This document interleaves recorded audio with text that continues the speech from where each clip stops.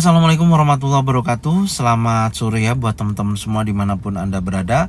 Salam sehat, salam profit konsisten.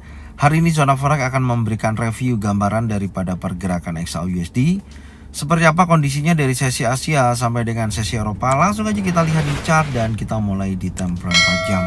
Kalau kita perhatikan ya pembentukan dari candle to candle sampai dengan sore hari ini Di mana tadi pagi saya sudah memiliki batasan time frame 4 jam ya di sini yaitu 1903.55 jika mana area ini terjadi breakout seperti ini dan close candlenya itu berada di atas daripada 1903.55 ini menunjukkan aktivitas dorongan bullish terjadi. Dan tentunya targetnya sampai dengan area zona pantau di posisi ini. Dan da, posisi terakhir ya di, di pukul 16.00 ada pergantian candle ya saat ini sudah berjalan dan tentunya ini akan menguji atau kita akan mencari informasi di time frame yang lebih kecil khususnya di time frame satu jam. Apakah area ini betul-betul ada konfirmasi adanya bearish engulfing, bearish pin bar, three inside down maka menunjukkan aktivitas adanya dorongan seller kembali. Dan batasan breakout saya akan rubah karena sudah terjadi perubahan candle berikutnya di posisi ini ya saya geser saya akan tandain di open bullsnya di candle impulsifnya. Di sini saya tandain open batasan daripada 1903.88 ini menjadikan batas breakout untuk time frame 4 jam. Oke sekarang kita akan turunkan time frame 1 jamnya kita lihat dulu. Ya di time frame 1 jam ini skenario nya ya. Dan tadi sudah saya sampaikan ini membentuk sebuah area compression seperti ini ini adalah area compressionnya dan market dari posisi ini ada long legs doji kemudian dikonfirmasi impulsi bullish karena di sini ada morning star menunjukkan aktivitas adanya bullish terjadi. Ya, meskipun kenaikannya ya memang ini membentuk sebuah area compression juga. Jadi area compression di sini diambil dari pergerakan impulsi pergerakan bullish ya atau memasuki area compression yang ini. Jadi ini adalah area compression berikutnya dari pergerakan yang sudah terjadi. Ini adalah area kompresinya dan saat ini market sudah menunjukkan pergerakan menuju uh, area zona pantau ya. Dan ini baru memasuki berkisaran 1906.49 sampai dengan 1911.04 ini saya hapus dulu. Oke dan kemudian ini saya geser. Saya geser ke sisi sini. Oke jadi artinya kalau nanti market betul-betul memasuki di zona pantau karena ini kan masih sesi uh, Eropa ya dan waktu menunjukkan baru 16 lebih 10 menit maka akan menguji kuat wilayah area ini apakah ada pembentukan uh, bearish engulfing, bearish pin bar, trend inside down kemungkinan besar bisa sell di area sini. Dengan target titik terendah hari kemarin low-nya di sini ya di 1896.25 tapi adapun kalau area itu ternyata masih di breakout ya masih di breakout karena saya melihatnya uh, struktur yang terdekat yang tentunya menjadi acuan target breakout untuk dia bergerak naik minimal dia harus melewati area ini Nah, di posisi ini ya. Ini saya jadikan area target breakout. Jika mana posisi target breakout ini bisa terambil ya dari pergerakan bullish atau kenaikannya ketika area zona pantau tidak ada uh, pembentukan candle ya baik itu single pattern, double pattern atau triple pattern yang menunjukkan konfirmasi adanya penurunan. Tapi kalau nanti di sini candlenya impulsif bullish seperti ini ya. Nah, bullish seperti ini maka akan memiliki kecenderungan naik ya. Tentunya seperti itu dan menguji kuat wilayah yang tentunya sebenarnya ini kurang fresh ya di area ini adalah area area supply yang tentunya sudah diambil dari posisi pergerakan yang di sini.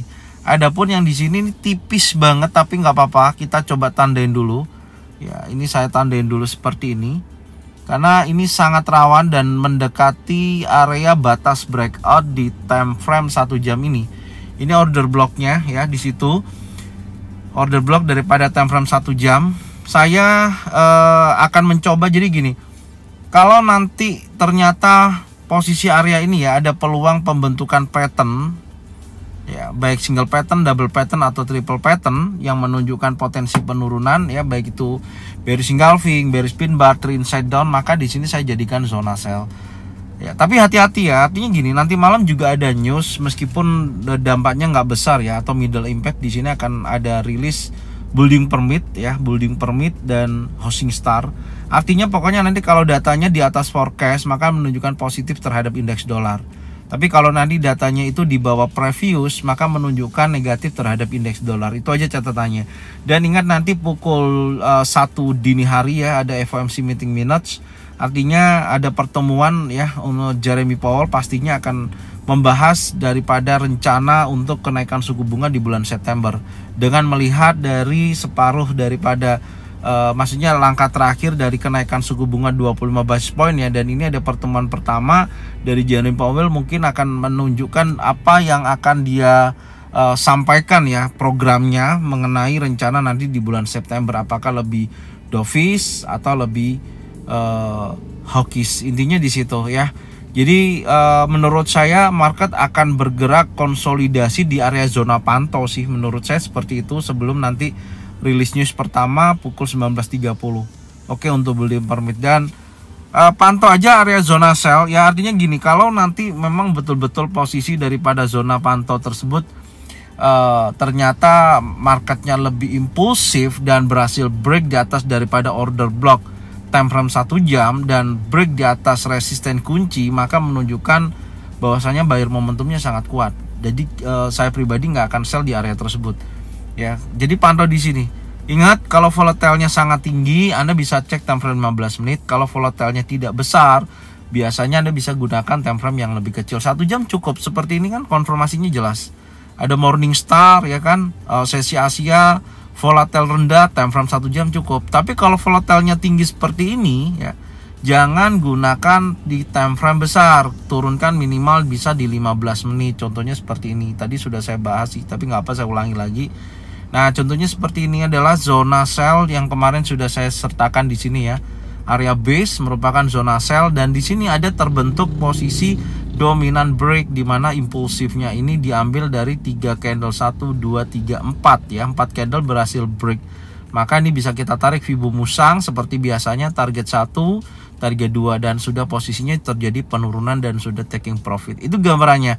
Dan tentunya seperti itu ya. Jadi kalau nanti marketnya volatile, Anda bisa cek 15 menit. Kalau tidak volatile bisa satu jam. Dan saya masih pantau dulu ya. Sekarang sudah memasuki zona pantau saat ini tentunya market tidak akan volatile tapi besar kemungkinan akan bergerak sideways ya di area sini ya. Selama masih sideways ya saya masih menunggu ya belum ada informasi yang cukup kuat. Adapun saya tunggu harusnya posisi terakhir di area uh, target breakoutnya di sini ya 1913.16 harusnya ini sudah kena nih. Dan menuju order block tinggal nanti kita lihat apakah di area zona sell yang berkisaran 1914.88 sampai dengan 1913.23 apakah ada pattern terbentuk? Kalau sampai di area sini ada pattern terbentuk baik single pattern double pattern atau triple pattern maka saya akan sell di area ini nah area order block ini. Seperti ini. Targetnya tentunya jauh di bawahnya ya yaitu minimal 50% atau uh, di area support kuncinya di sini ya catatannya di situ tapi kalau nanti posisi order block ini terjadi breakout impulsif bullish dan close di atas key resisten maka tidak ada entry ya karena impulsif bullish itu menandakan buyer momentum yang sangat kuat. Oke. Okay? Jadi ini aja yang bisa saya sampaikan ya sampai dengan sore hari ini semoga bermanfaat dan selamat yang sudah dapat keuntungan dari trading uh, pagi tadi ya prosesnya dan semoga informasi ini membantu dan jangan lupa bagikan videonya channelnya ke teman-teman kalian semua supaya mereka semua bisa mendapatkan manfaat yang sama. Jangan lupa subscribe, like, komen, dan bunyikan loncengnya untuk bisa mendapatkan notifikasi dari Zona Forex. Thank you buat semuanya, salam sehat, salam profit konsisten. Assalamualaikum warahmatullahi wabarakatuh.